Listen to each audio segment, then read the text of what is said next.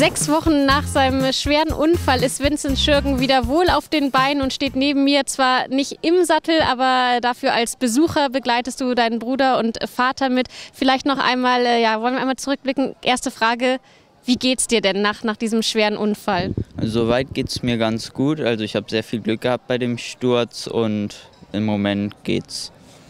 Geht heißt, äh, wie lange warst du im Krankenhaus? Man muss ja sagen, äh, wenn wir uns mal erinnern wollen, ganz äh, schwerer, übler Sturz mit sehr viel Glück, Schädelbasisbruch und was war noch dabei? Äh, noch eine Felsenbeinfraktur und noch mehrere Blutungen im Kopf.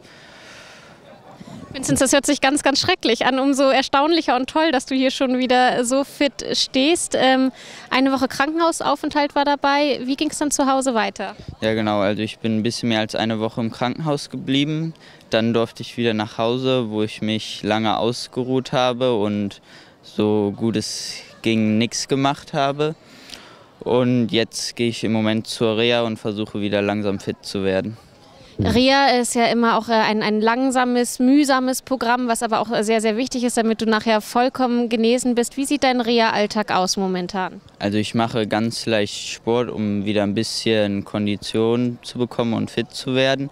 Und dann gehören dazu noch so ein paar Denkaufgaben oder Gedächtnisaufgaben, wo die gucken, ob ich noch ganz normal denken kann. Das ist keine, du kannst so ganz normal Interviews geben, da mache ich mir überhaupt gar keine Sorgen. Und jetzt begleitest du äh, deinen Vater und Bruder mit auf die Rennbahn. Gibst du da schon mal die ein oder anderen Tipps wieder oder die, die Kessensprüche oder sagst du, was dein Bruder falsch oder richtig macht? Äh, nö, also er weiß ja Bescheid, deswegen ist alles beim Alten. Er hat ja eine tolle Rede auf dich gehalten in Baden-Baden bei der Champions-Ehrung, äh, die du leider verpasst hast, aber du hast die Rede ins Krankenhaus gespielt bekommen. Ende Februar, also alle Amateure gehen nach außen, außer einer, der ging an den Innenrails. Ich habe schon gedacht, was wird das jetzt? Ich habe gedacht, bitte, bitte, bitte vor dem Schlusspunkt, zieh nach außen zu den anderen. Aber er war unbeirrt. Ich hat nicht einmal rübergeguckt und ist einfach innen geblieben. Ich habe schon mit dem Kopf geschüttelt und nach unten geguckt. Ich habe gesagt, nee, nicht dem ersten Figentri-Ritt nicht, nicht so beginnen, nicht schon auffallen, weil er hatte auch einen riesen Außenseiter auf dem Papier hatte das Pferd eigentlich gar keine Chance.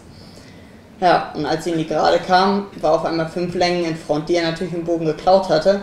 Und als ich gemerkt habe, so schnell werden die anderen gar nicht, habe ich mitgefinisht, als er durchs Ziel war und mit kurzem Kopf gegen die Weltmeister Florent Guy und Jean-Philippe Borgontier gewonnen hatte.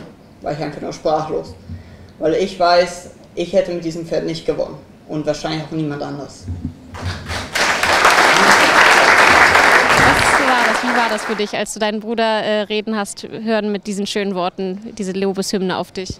Ja, genau. Ich habe mir die Rede öfters angeguckt. Ich fand sie sehr, sehr gut und ja, ich bin sehr dankbar, dass er sie noch gehalten hat.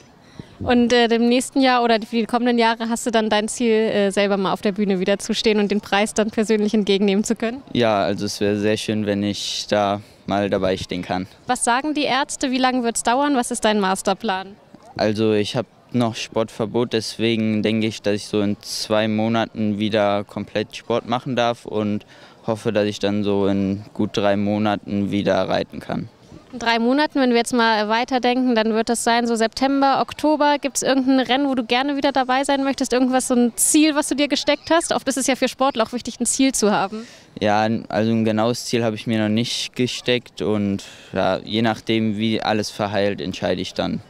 Super, vielen Dank, Vincent, für das Interview und ich bin sicher, dieser Mann ist so stark in den jungen Jahren, den werden wir schnell zurück im Sattel sehen und wünschen dafür dir alles Gute und weiterhin eine erfolgreiche Genesung.